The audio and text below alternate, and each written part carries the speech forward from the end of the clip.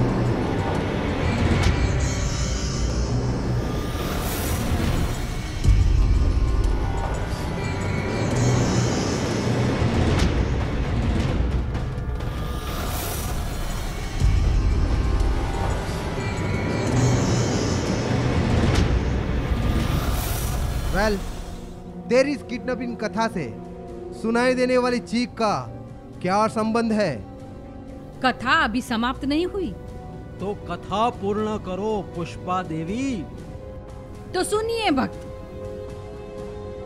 Kidnapping के थोड़े सालों बाद मैंने उस लड़की को फिर से देखा कहाँ देखा इस त्रिकाल हवेली के पीछे थोड़ी सी दूर एक छोटा सा तालाब है एक सन्यासी ने वहाँ आश्रम बनाया है मैं एक बार वहाँ गई थी। वहाँ जाते ही उस सन्यासन लड़की को मैंने देखा देखते ही मैं पहचान गई। ये तो वही लड़की है जिसका किडनैप उस गुंडों ने किया था। फिर? फिर क्या हुआ? फिर उस सन्यासन ने बताया कि उस लड़की की याददाश्त चली गई।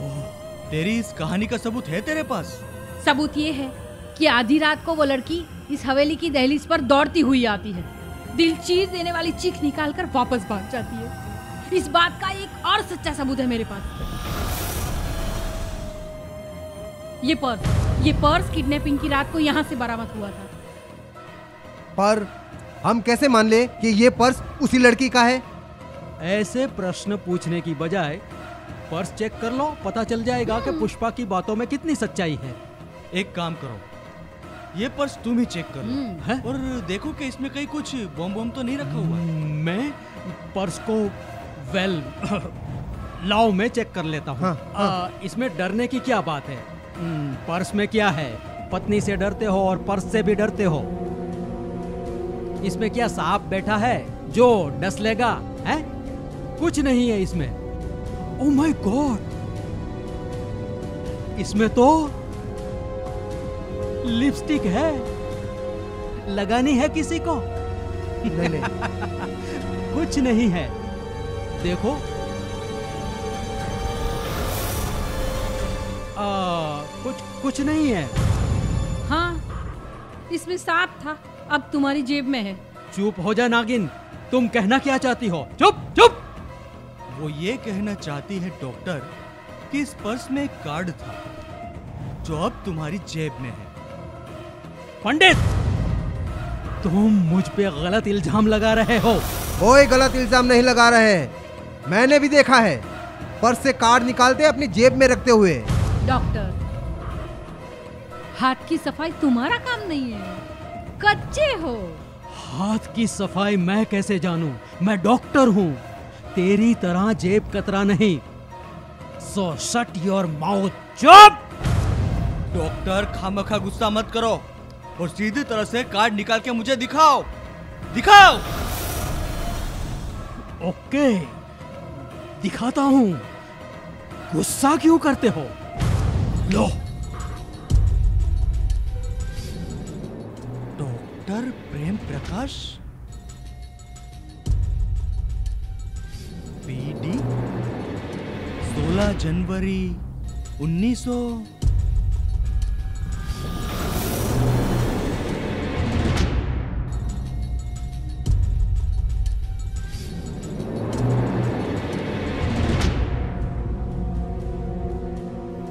doctor P M Parmarth, M S neurosurgeon, Vora house, first floor, Bajaj road. ये तो अस्पताल का एड्रेस है। इसमें फ़ोन नंबर भी है। Two five six, two five two nine. Oh my God इस कार के पीछे की तारीख? तारीख 16 जनवरी। खाली जगह जो मैंने बताई थी। इसमें पूरी तारीख लिखी हुई है। हाँ लिखी हुई है।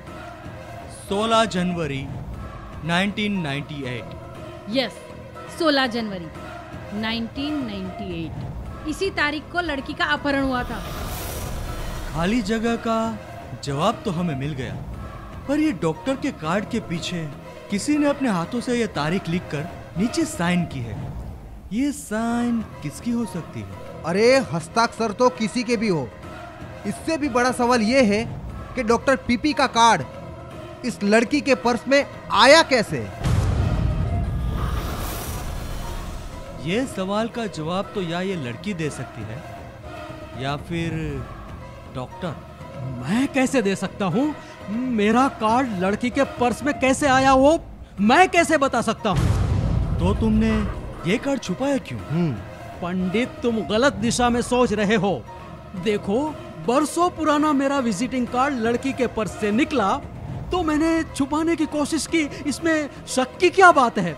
मैं जानती हूँ पंडित और नाथ साहब का शक सच्चा है। तो फिर शक नाम की बीमारी का कोई इलाज नहीं और शक की शस्त्र क्रिया भी नहीं की जा सकती। ये इनिशियल ये हेड राइटिंग ये सब बताते हैं कि ये शक नहीं सच्चाई है। खुले आकाश की तरह नग्न सच्चाई। How can you say that Pandit ये हेड राइटिंग ये इनिशियल ये किसका है बताऊँ? वो हैंडराइटिंग वो इनिशियल मेरे नहीं है। तो मैंने कहा कहा कि तुम्हारा है पर तुम बताओ कि किसका है? डॉक्टर की चिल्लाहट उसका चेहरा ये गुस्सा ये साफ़ बताते हैं कि हेड राइटिंग और इनिशियल डॉक्टर के हैं। मेरे नहीं है बाबा, मेरे नहीं है। तो किसके हैं? मुझे कैसे पता कि किसके हैं? और पंडित, इसके पीछे ठीक से पढ़ो। पीछे पी डी लिखा क्लियर दिखता है। और मेरी इनिशियल पी डी नहीं पी एम है। P M Parmarth. देखो, ठीक से देखो। पी मतलब मैं खुद प्रेम प्रकाश और एम एम मतलब एम मतलब मेरे मेरे फादर का नाम। ओ माय गॉड मेरे फादर का नाम एम एम, अ- अ- आ- आप लोगों ने मेरे मेरे बाप का नाम भुला दिया। एम हाँ एम मतलब मनमोहन दास मनमोहन दास। मैं प्रेम प्रकाश मनमोहन दास, पीएम, पीडी नहीं हूँ। अरे साथ मिलके मार डालोगे क्या? My God you are right doctor तुम्हारी बात बिल्कुल सही है। इस कार्ड में साफ़ दिख रहा है पी डी और यहाँ जो सारे लोग हैं इन सब का इनिशियल पी पी है। हाँ। तो ये पी डी इनिशियल किसका हो सकता है? यही तो यही तो मैं समझाने की कोशिश कर रहा हूँ। यहाँ सारे पी पी हैं। देखो, मैं प्रेम प्रकाश उर्फ़ पीपी, ये प्राणनाथ प्रसाद मतलब पीपी। तुम परेश पंडित मतलब पीपी। ये पुष्पावती उर्फ़ पुष्पा मतलब पीपी। सारे पीपी, कोई पीडी नहीं है। सभी की राशि कन्या राशि है। इसीलिए कन्याओं से पाला पड़ा है। तो सुनो पीडी नाम की दो व्यक्ति यहाँ पे मौजूद है। हैं? कौन है? जल्दी बताओ। एक तो मैं खुद। पुष्पावती दामोदर दास यानी पी डी और दूसरे प्राणनाथ दीनानाथ मतलब पीडी प्रसाद। ओह मिस्टर नाथ। हम्म। बोलो मिस्टर नाथ। या फिर हैंडराइटिंग एक्सपर्ट से हैंडराइटिंग चेक करवाई जाए। ऐसा करने की कोई आवश्यकता नहीं। कार के पीछे की इनिशियल मेरी है। डॉक्टर प्रेम प्रसाद के कार के पीछे तारीख लिखकर मैंने ही इनिशियल की थी। पर ये कार्ड मैंने उस लड़की को नहीं दिया। तो फिर उसके पर्स से वो कार्ड निकला कैसे? मैं बताती हूँ। ये कार्ड आपने अपहरण करने वाले गैंग लीडर को दिया था।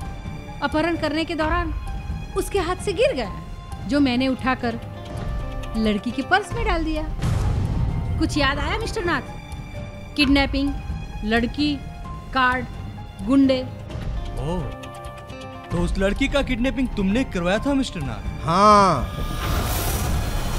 उस लड़की का किडनैपिंग मैंने करवाया था। और उस बेहोश लड़की को मेरे अस्पताल भिजवा के शस्त्रक्रिया करवा के उसकी याददाश्त छीन ली थी।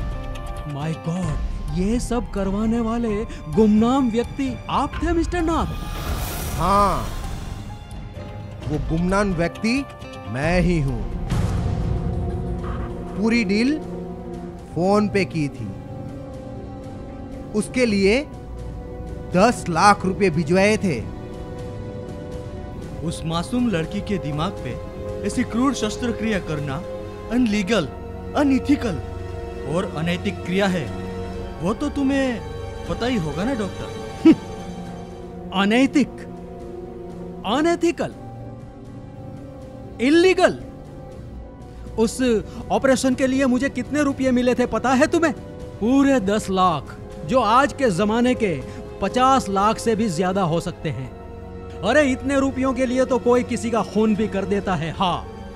प्रोफेशनल मर्डरर और प्रोफेशनल सर्जन में कोई अंतर नहीं डॉक्टर साहब। I am professional surgeon professional no any idealist idealist तो ये पंडित भी नहीं है। वकालत के धंधे में खून करके आने वाले को निर्दोष छुड़वाने की फ़ीस करोड़ तक ली जाती है जिसमें सबका हिस्सा होता है। क्या? यह भी अनैतिकता नहीं है? मेरी अनैतिकता साबित करके,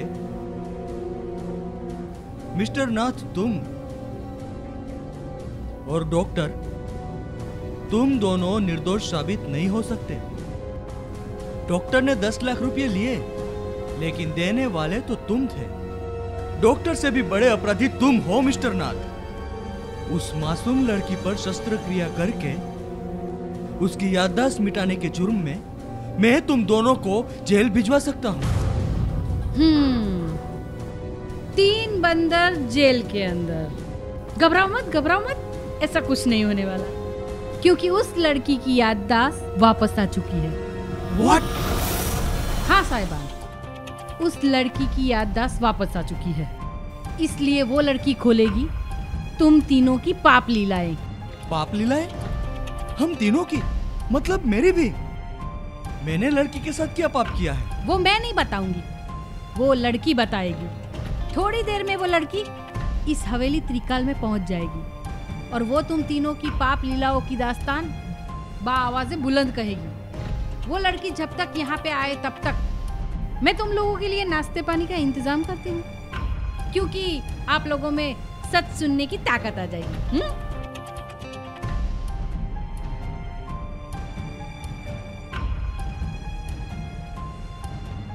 अरे यहाँ तो यहाँ तो दफनाए हुए मुर्दे उखाड़े जा रहे हैं। अरे मेरी तो साँसें फूल रही हैं। मैं बाहर जाके सिगरेट पीता हूँ। एक मिनट। बाहर जाके सिगरेट पीता हूँ। हमें अकेला छोड़ के भाग जाना है क्यों? ठहरो। हम तो डूबेंगे सनम। तुम्हें भी ले डूबेंगे। चलो हम भी आते हैं साथ में। चलो पंडित चलो। चलो।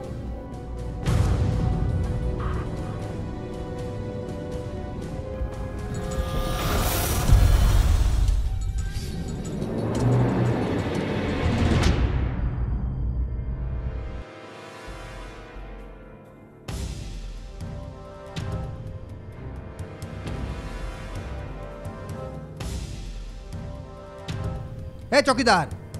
यहाँ आओ। अरे साहब मैं यहाँ तो क्या आपके साथ जेल में भी आऊँगा? हम जेल वाले नहीं महल वाले हैं। तेरे पास माचिस है? महलों वालों के पास माचिस नहीं है? क्या फिर से बस्ती जलानी है? बस्ती नहीं तेरी लाश जलानी है लाश। बदमाश बंद कर तेरा बकवास।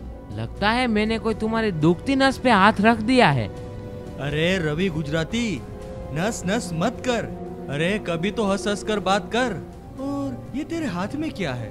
मेरे हाथ में है एक तस्वीर जिसे देखकर तुम्हारे दिमाग की नशे फट जाएगी। You police no English no Hindi मैं रवि गुजराती। मेरे हाथ में तुम तीनों के मौत का सामान है। तो फिर तू हमें जानता नहीं। हम वो बला हैं जो गड़े मुर्दे उखाड़ कर फेंकते हैं। बोल क्या है तेरे हाथ में? गड़ा हुआ मुर्दा लो उखाड़ फेंको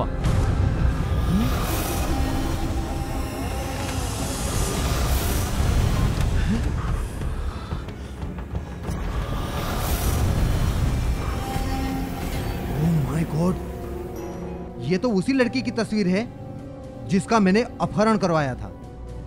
यस यस इसी लड़की का गुंडों के हाथ मिस्टर नाथ ने अपहरण करवा के मेरे अस्पताल भिजवाई थी। वहाँ मैंने इसका ब्रेन वॉश करके याददाश्त छीन ली थी। पर इस लड़की की तस्वीर उस चौकीदार के पास कहाँ से आई? लगता है हमारी ज़िंदगी के घड़े रहस्यों को हमारे भेद को अभेद करने का षड्यंत्र चल रहा है वरना वो पर्स पर्स में मेरा कार्ड और और अब ये तस्वीर। अपनी परछाई को भी पता ना चले? ऐसे राज अब खुलने जा रहे हैं। मतलब कोई साजिश कोई चाल या तर्कबद्ध बिछी जाल है जिसमें हम तीनों अब फंसे जा रहे हैं। हम्म, ये और कुछ नहीं। एक षड्यंत्र है और इस षड्यंत्र का हम शिकार बनने जा रहे हैं। मगर मगर शिकारी कौन हो सकता है? दूसरा कौन? पुष्पा। पुष्पा के अलावा दूसरा कौन है इस हवेली में? यस त्रिकाल में हमारे साथ खेले जा रही इस साजिश का एक ही सूत्रधार हो सकती है। छप्पन छुरी पुष्पा। पुष्पा कोई नई चाल चले उससे हमें बचना होगा। पुष्पा से अब हमें बचना हो तो अब पुष्पा बचनी नहीं चाहिए। तो चलो पुष्पा की असली जगह स्वर्ग के बाग में होती है। उसे स्वर्ग पहुँचा देते हैं। तो निकालो अपनी रिवॉल्वर यस और दिखाते हैं अपना हुनर। Let's go there come on Come on.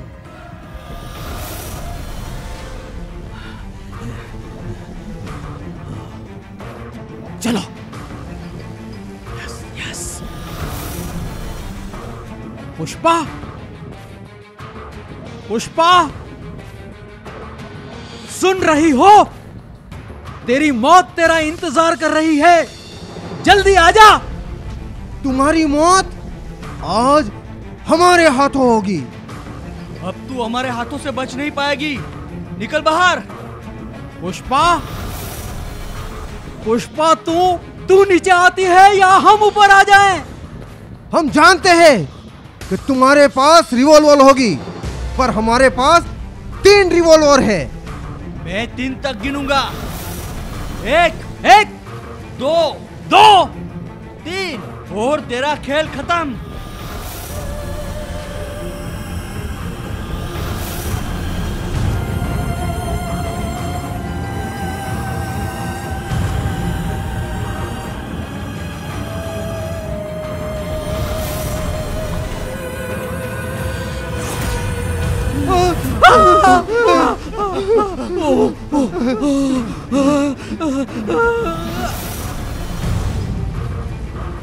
Sumitra Sanyal. Sumitra Sania my God Sumitra Sanyal?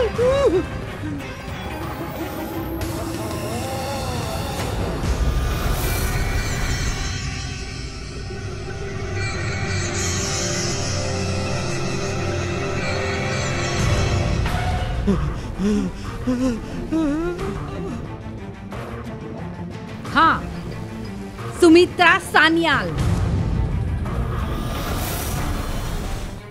Sumitra Sanyal